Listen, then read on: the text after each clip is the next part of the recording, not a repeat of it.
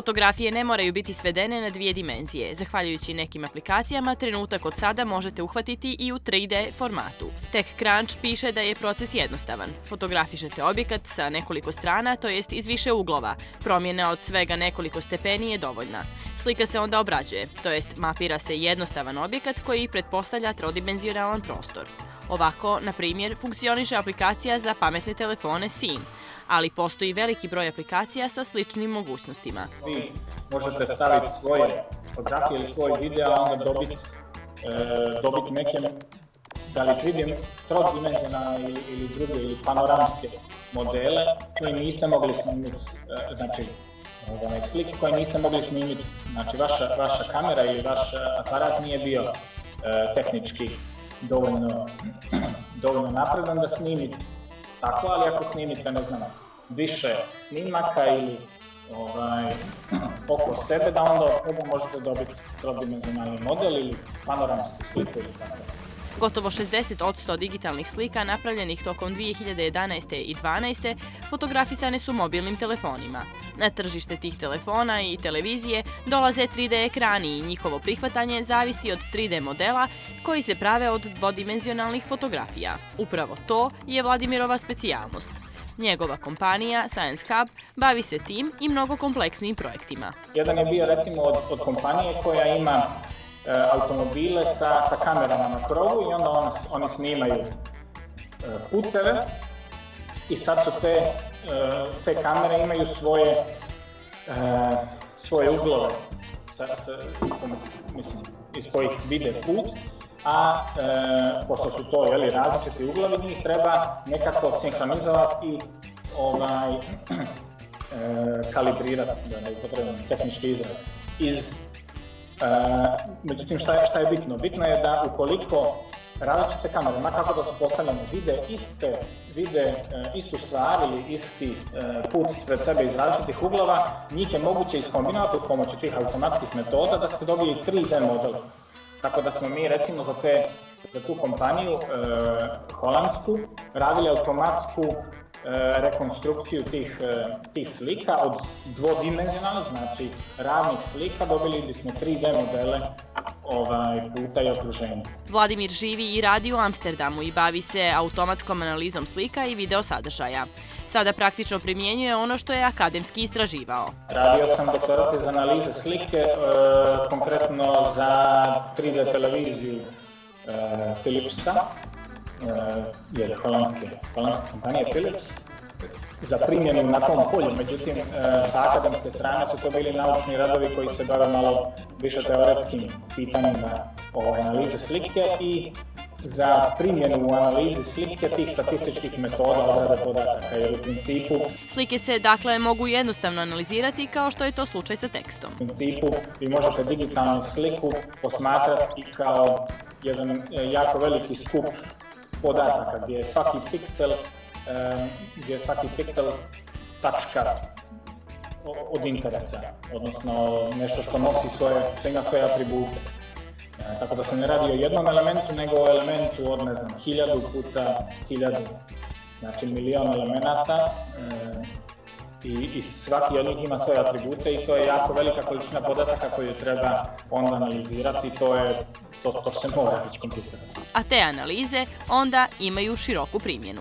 Gdje god postoji kamera i, i, i digitalni digitalni snimak, moguće ga je i analizirati automatski. Znači ono nešto što su do sad radili ljudi, gledali e, o kojim se objektima u sceni rade, da li neko prolazi, da li ne, da li je offside na utakmici ili ne, znači da li je na te, u tenisu ovaj, lopta pala u aut ili ne.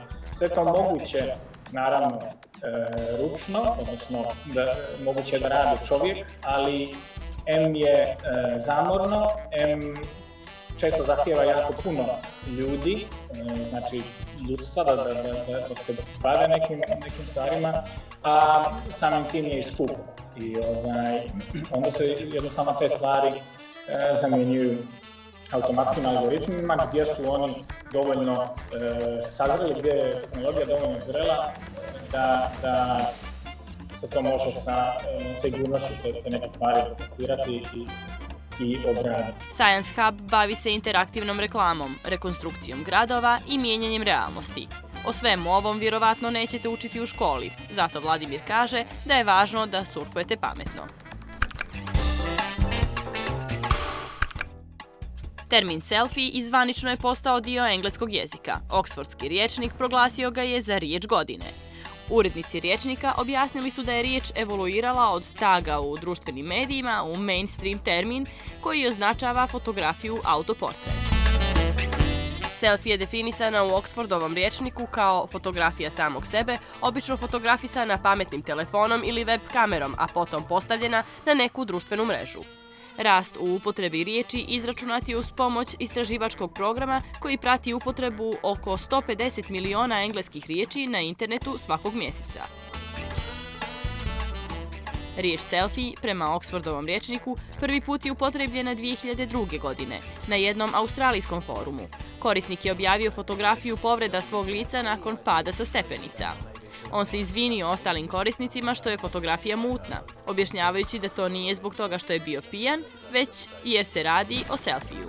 Društvene mreže pomogle su popularizaciju termina sa hashtagom selfie koji se počeo pojavljivati na sajtu za dijeljenje fotografija Flickr još 2004. godine, pa do veoma široke upotrebe do koje je došlo 2012. godine kada se termin selfie počeo koristiti u mainstream medijima, za šta je dijelimično zaslužna i fotografija reality zvijezde Kim Kardashian.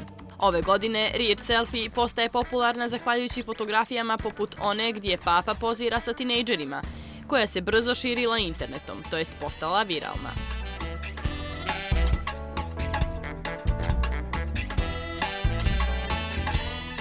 Iako video sa instrukcijama kako napraviti najbolji selfie na YouTube-u ima skoro milion i po pregleda, Magazin Time za najbolji selfie proglasio je autoportret astronauta Akija Hoshide u svemiru.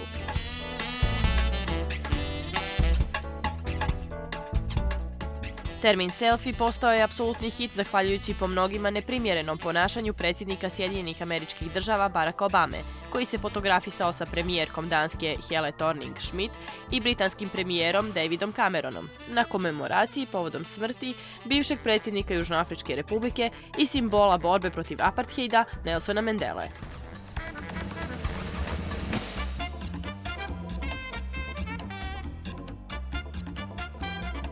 Kao jedan od najpoznatijih operativnih sistema koji dolazi kao distribucija Linuxa, koji je također otvoreno koda, jeste Ubuntu. On dolazi u nekoliko verzija.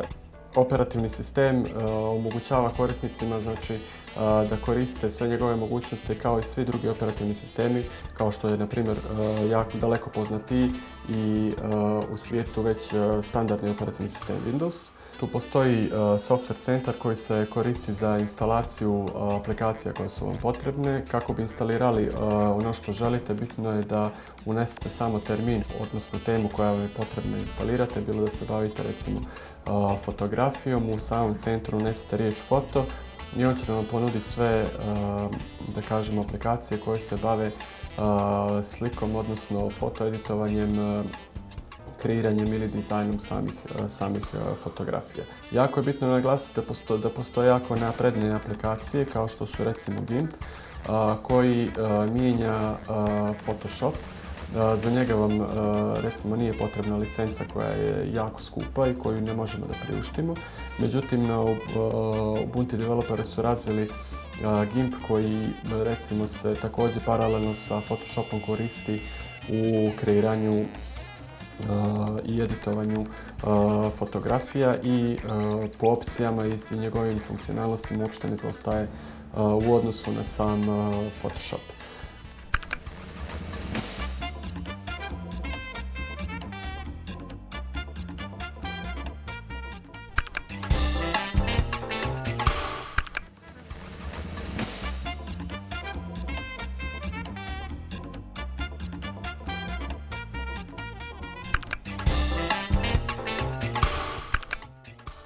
Internet nije samo mreža računara, nego i velika neformalna zajednica sa vlastitim kodeksom ponašanja. Pravila ponašanja na internetu slična su onima u svakodnevnom životu. U nastavku evo nekih osnovnih pravila online ponašanja. Privatni razgovori moraju ostati u privatnosti. Kada vam neko kaže nešto u privatnoj poruci, mailu ili omogući samo vama da vidite post na Facebooku, nemojte to objavljivati dalje bez dozvole te osobe i ostalih kojima je poruka bila namijenjena. Citati se na internetu mnogo mijenjaju bez obzira što su najčešće pisani pa ih je lako tačno prenijeti. Ako citirate nekog, vodite računa o preciznosti. Ne bi trebalo da budete ni previše precizni, to jest da samo kopirate duge citate. Ako planirate da prenesete nečiji tekst, ponudite link na njegovu internet stranicu ili pitajte za dozvolu da prenesete tekst. Samo zato što je nešto postavljeno online ne znači da je kopiranje dozvoljeno. Nekada postoje dobri razlozi za anonimnost, ipak trebalo bi da to radite samo kada je zaista neophodno. Vaša reputacija i povjerenje raste ako se otvoreno predstavljate.